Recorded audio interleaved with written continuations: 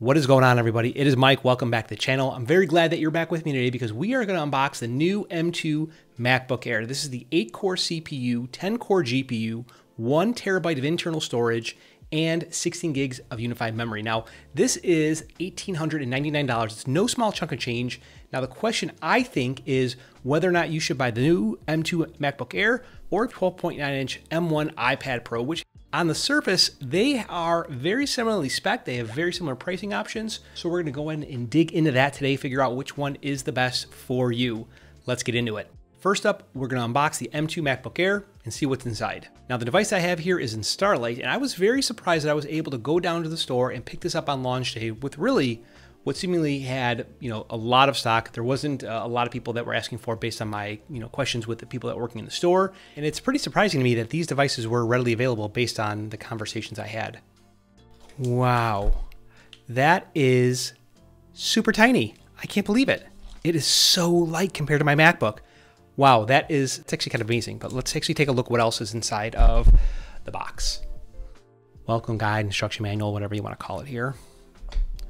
Welcome to MacBook Air, yada, yada, yada. I don't think we all care. Let's see here. Safety and precautions, environmental concerns. Do we get a color matched MacBook Air sticker?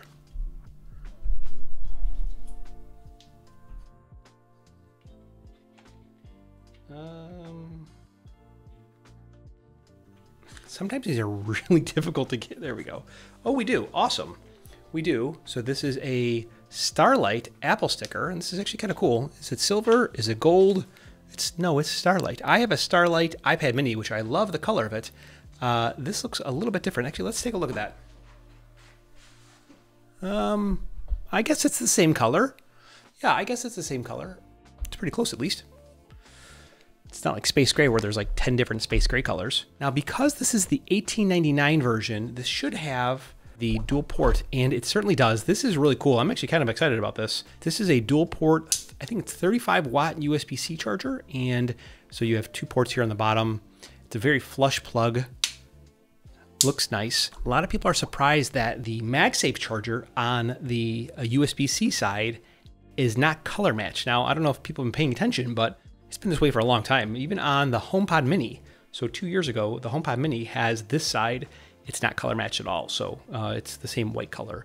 Wow, this really is a good looking color in this machine. I'm glad I didn't go with graphite or even space gray. I want to lighten things up, make it a little bit more, more breathable, I would say. I even went with the white, or actually they call it pale gray, uh, MX Master 3S, trying to get away from space gray accessories and space gray computer. Let me know what, you, what your favorite color is down in the comments below.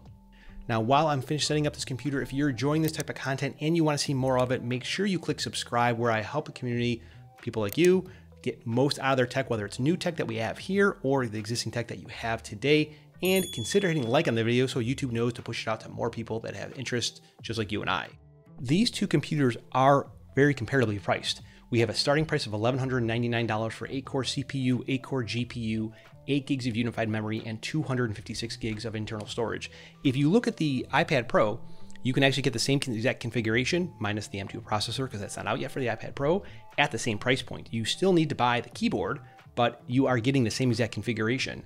Now, depending on what you are trying to solve for, whether it's cost, whether it's functionality, whether it's features, this may or may not be a good comparison for you. But what I'm trying to illustrate here is that at the price point, you can get equal functionality directionally speaking, but get a completely different computing experience. Now, fast forward, I've been using the M2 MacBook Air for about a week, and I can say that honestly, I love this device. It is highly conformable to how I work. It, I'm able to take it in a lot of different places. It's super light, and it really is, I think, a pleasurable computing experience, much more so than my iPad, and I didn't really expect that, which is why I think that it might replace the iPad.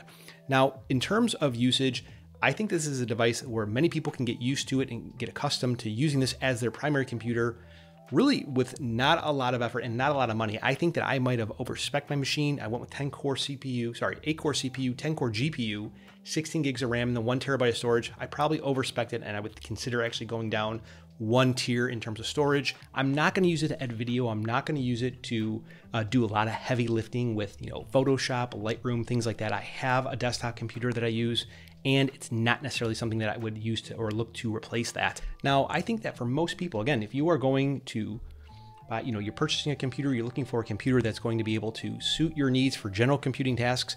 Even though the iPad Pro is really good, I think that the M2 MacBook Air is just a bit better. Now, you obviously know if you are the type of person that needs to have, you know, a stylus or the Apple Pencil, and you would be better off with the iPad Pro. That's, you know, there's no doubt there. There are people like that, and I'm not saying that it doesn't exist. For me, I think that the M2 MacBook Air is a little bit better of a computer for most people. The computing experience, you're going to get a really relatable and a very conformable and familiar computing experience on the MacBook versus the iPad Pro. It's not necessarily a a comparison of which one is better. It's really about which one is better for you.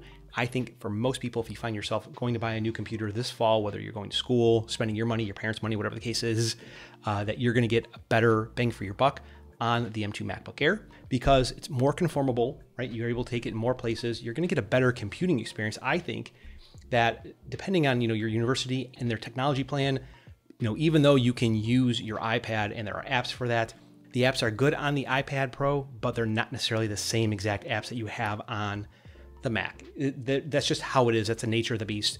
We're getting there. We're one step closer with iOS 16 and iPad OS 16, but we're not there quite yet.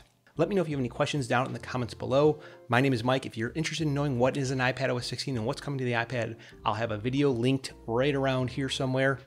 I'll talk to you in the next one.